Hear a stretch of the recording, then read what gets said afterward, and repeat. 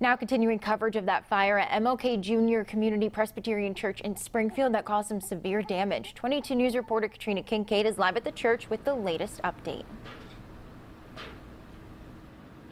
Taylor, restoration of the church began today. We have the windows that have been boarded up now as well as the roof. And when I just got here, actually, I'll show you that the Department of Fire Services Special Operations as well as Springfield Arson and Bomb have arrived. They did some setup they're investigating what the cause may have been with this fire. Now remember, there was a brand new roof that they did just put on this church right before Christmas. We saw people walking by the church this morning taking pictures of the damage, according to Massachusetts Department of Fire Services.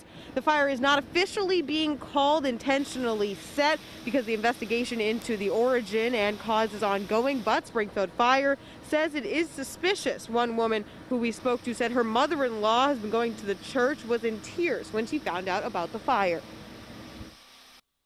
It's a sad thing that someone has to purposely burn down a church in order for whatever revenge or whatever they're going through. It's not right. It's not right. And I hope justice gets done.